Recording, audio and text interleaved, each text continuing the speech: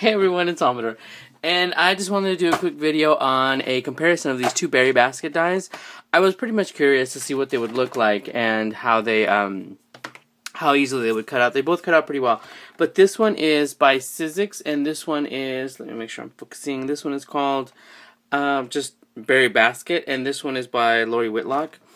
And it doesn't, here's the thing, I already took it out because I was about to put it away. I don't know if you can see, but it cuts out this part, the bottom part, and the little scallop strip that goes around here, and also a, nice little tag. So this one you do have to cut out four of the side pieces, and um, it just comes with a little tab, and then one or two of the uh, bottoms, depending on how you want to do it, and then the little scalloped, um, scalloped edge. So this one, this one is by um, Lifestyle Crafts, QuicKutz, whatever the crap they're calling themselves today. Um, and this one is a long strip, which cuts out, um, and you only need to cut out two of these, and then you just cross them together, and that little band, and it has a little um, label, it has a two-layer label, but this little band goes over here, over like right in the middle of, um, like this goes right in the middle of here, I mean, and then you fold it over to glue it together. Whereas this one has little tabs right here to glue it together, and um, so yeah, so I went ahead and die cut them both with just cream cardstock just to see what they would look like. Um, because I wanted, I actually just wanted one, but I wanted to see which one I wanted. Then I figured if I didn't like the other one, I could sell it or destash it or something like that or gift it, whatever. Um, and honestly, I like them both in, for different aspects. This one you can cut thicker uh, items with because it's a steel rule die, steel rules die, and this one is a um, wafer thin die. So anyhow, but as far as size, go this way. As far as uh, style and size and everything, personally, I like the way this one looks because it looks more like one um, on the side. But I don't know what the big, you know, slant, whatever. But this one is actually slot. I mean, this one is actually smaller than this one. Here, let me move the dies aside. Height wise, this one is much. This one is much higher, and it seems a little bit sturdier, I think. But then this one doesn't have the little. Uh, flap uh, little layers that go over it to um, over the front. So anyway, um, the how can I put it? This die cuts out the little notches down below the cut thing, but when you cross it, it doesn't. You can't really see it, so I don't see the point in that. But um, in here you can see I put the little slip, the slot of paper right there that goes all the way around. I mean, not all the way around. It goes halfway to here so it's in the middle halfway to there and they're pretty sturdy i mean i just i did cut them really quick out of uh, some cream cardstock some recollections cream cardstock because i wanted to put them together and see which one i liked i figure i can get over the fact of either uh, will like them or i will not and then you know destash them or whatever um, in the picture it does look a little different the way they put it together but i just kind of put it together like this it shows more of a um, open right here on this one. So yeah, like I said, um, as you can see right there from the top, they look almost the same size. This one's a little bit wider as well. And this one, the Lifestyle Crafts one, is a little bit deeper.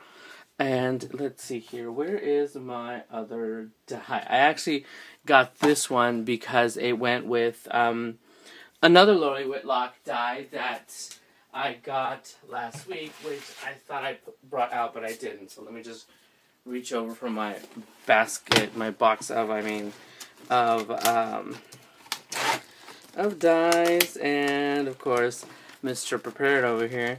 Let me see if I can find the one that it goes with. It goes with a strawberry die, and I think you guys saw it at, on Gloria's, um, YouTube channel on Crafty Cake 7, but let me show you. And I haven't even used it because I was waiting for the basket. Not like I couldn't use it, but it um, this one coordinates with this. But of course, you can use any of the strawberries. Um, but the strawberries, the way I saw them, um, somebody made them. I think like only two or let me open this, two or three um, fit in there. Now, most of the steel rule dies that I have, I actually don't save the packaging. I just have them stored like this, and this one actually comes with a little pouch, but it's not it's not a snap pouch. You think it would be.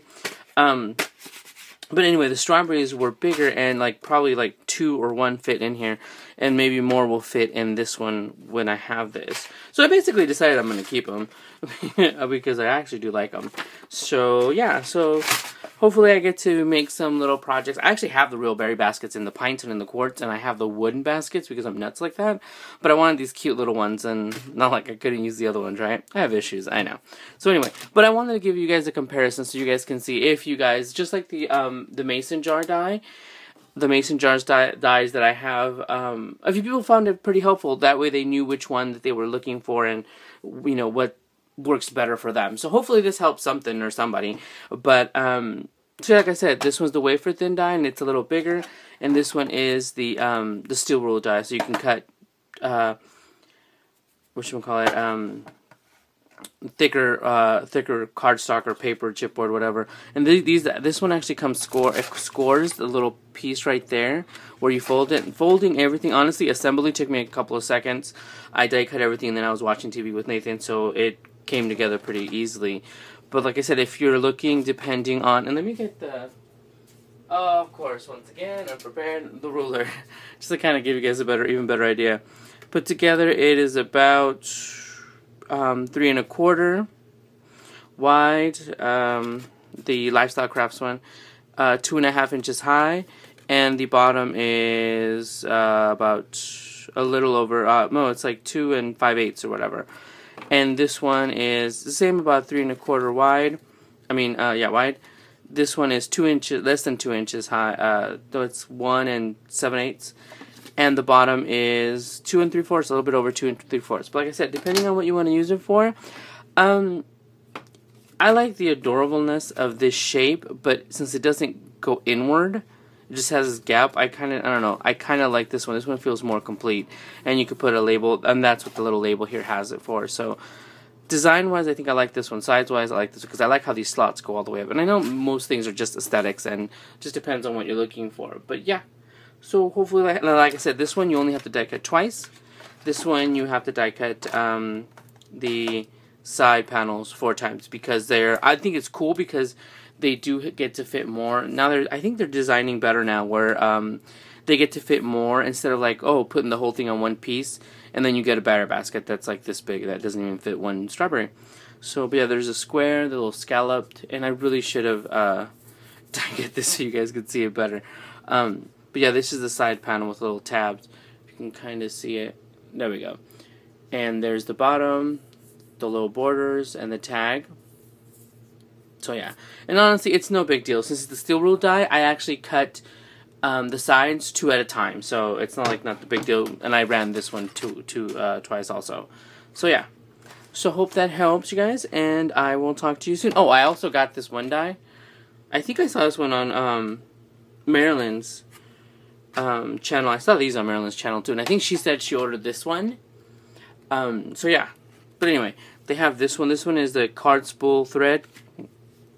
Thread card spool. Where'd it go?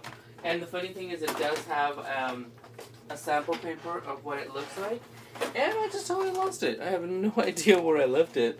It's a nice size, and I know you guys are probably thinking, well, people are making that shape with the um, with the envelope punch board, and that is true. You can easily make that shape where uh, I think Bona has an awesome video on that where you. I'm trying to. I'm over here. I'm not even showing you guys anything. But I'm over here trying to find the card. I just totally had it in my hands. Um, where you cut the piece and then you cut the little notch from the envelope punch board and then you cut it here. The cool thing though with this one, the only reason probably that I got this, and no, the only reason I did get this, is because it's a pretty big die. Um, on one side it has the the spool and on the other side it does it also but it also has the little lines to make it look like a thread to emboss I guess um, but you can I with these you can cut chipboard so if I showed you I did have a video earlier this week um, with the uh, ribbon and lace storage cards that I made with the scallop die and I had to cut off these where was that one I just had this one as well Everything is on my desk right now because I did pick up a few things. Oh, I found it. Okay, I did pick up a few things. So anyway, here's the one that I made, and you guys might have seen it in my previous video. But this is what it cuts out. Now, granted, this one is smaller than this, this uh, the one that I made with the other die. But this one cuts two. You can easily just cut it right there, and you have two ribbon holes. And then decorate it as you please, as you wish. But here's the, how the card comes out. So, but yeah, you use chipboard. Cause I think Gloria, um, not Gloria, um, Marilyn showed it.